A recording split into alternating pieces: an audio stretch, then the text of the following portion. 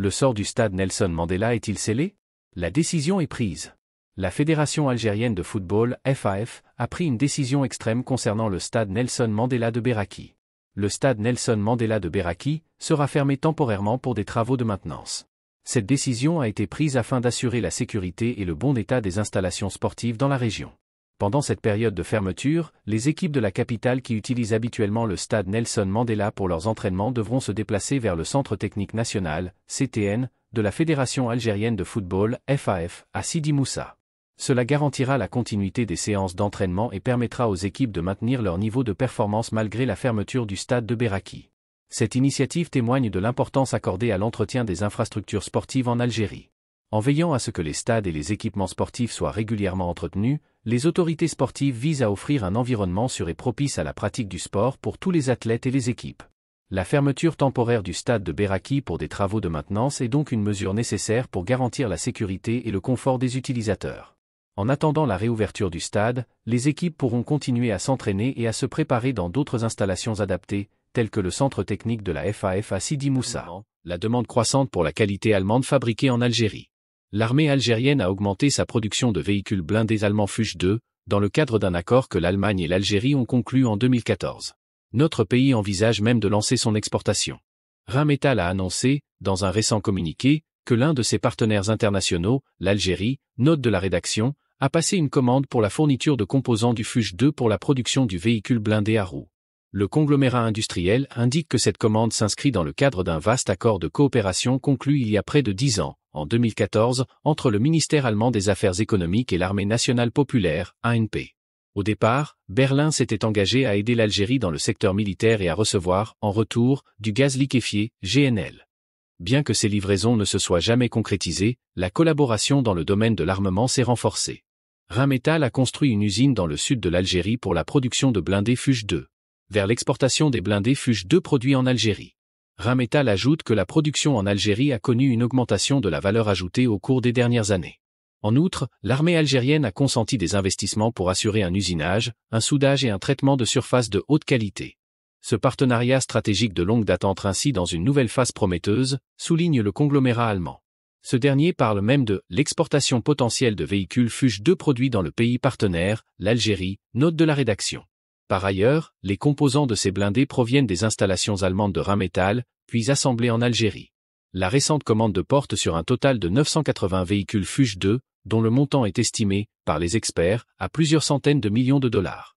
Selon des rapports antérieurs, l'ensemble des affaires entre Rheinmetall et l'Algérie atteindrait la somme 2,7 milliards d'euros, marquant ainsi l'une des commandes étrangères les plus importantes du groupe. Bien que la production de véhicules blindés Fuchs en Algérie doive se poursuivre jusqu'en 2028, il est probable que la collaboration perdure.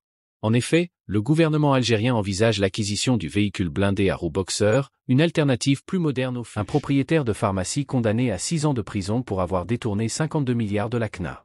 Le tribunal correctionnel de Cheraga, à Alger, a condamné le propriétaire d'une pharmacie privée à Ould Fayet, SY, à une peine de 6 ans de prison, avec la condamnation de l'accusé JH, ancien employé de pharmacie, à une peine de trois ans de prison, avec un verdict d'acquittement pour un ancien employé de pharmacie accusé dans l'affaire AA.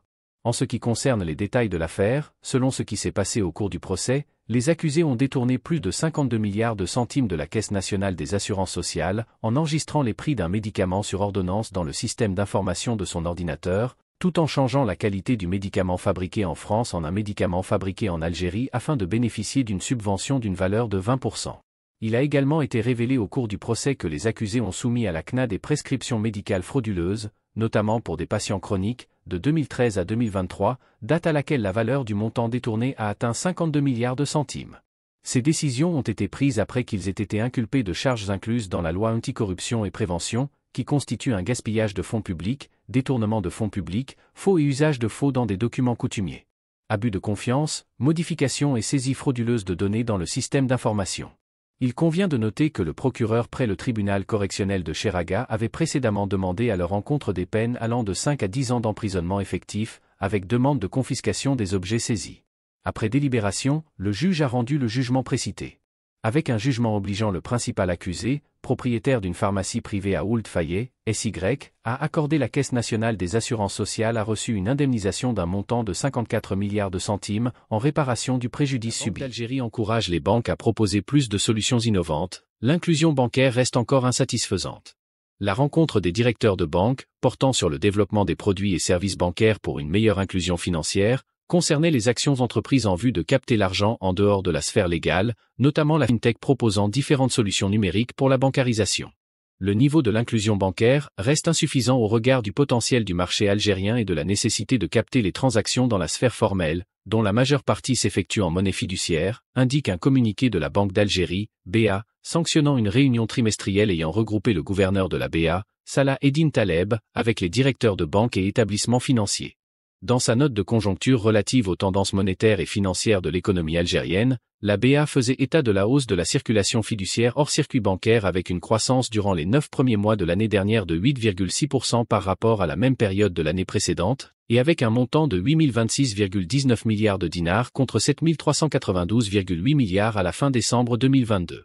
Le niveau de l'argent circulant hors circuit bancaire ne cesse d'augmenter malgré les mécanismes encourageant la numérisation et la finance islamique le volume des dépôts de la finance islamique depuis 2020 a atteint 800 milliards de dinars, ce qui est faible par rapport au montant de l'argent de l'informel. La rencontre des directeurs de banques, portant sur le développement des produits et services bancaires pour une meilleure inclusion financière, concernait les actions entreprises en vue de capter l'argent en dehors de la sphère légale, notamment la FinTech proposant différentes solutions numériques pour la bancarisation. Il est à noter que les banques disposent d'une gamme de produits et services variés adossés à de nouvelles technologies qui favorisent grandement l'inclusion bancaire, souligne le communiqué de la BA, en remarquant une tendance favorable au titre des volumes des transactions de paiement par carte traitées par le système ATSI. Ce dernier enregistre une hausse de 56,5% entre 2022 et 2023, alors que le volume des paiements sur TPE a évolué de 54,6% et les volumes des transactions par Internet de 100,2% sur la même période. Toutefois, ces volumes demeurent faibles par rapport au potentiel du marché algérien, estime la BA, qui œuvre à l'encouragement de l'innovation et de la transition numérique de l'économie ainsi qu'à la mise en œuvre de la loi monétaire et bancaire, qui a institué l'ancrage légal nécessaire pour soutenir l'essor de la vision d'innovation et de développement de solutions adaptées aux besoins des consommateurs des services financiers, chacun selon ses spécificités, indique le même communiqué de la BA. Le gouverneur a appelé les responsables des banques et établissements financiers à davantage d'investissement dans le développement de solutions innovantes à même d'augmenter la qualité des services bancaires, faciliter l'expérience client et drainer davantage de ressources. Ceci en assurant de l'accompagnement de la BA pour la mise sur le marché d'offres de produits et services innovants, en accordant des autorisations nécessaires conformément au règlement numéro 2020-01 du 15 mars 2020 fixant les règles générales.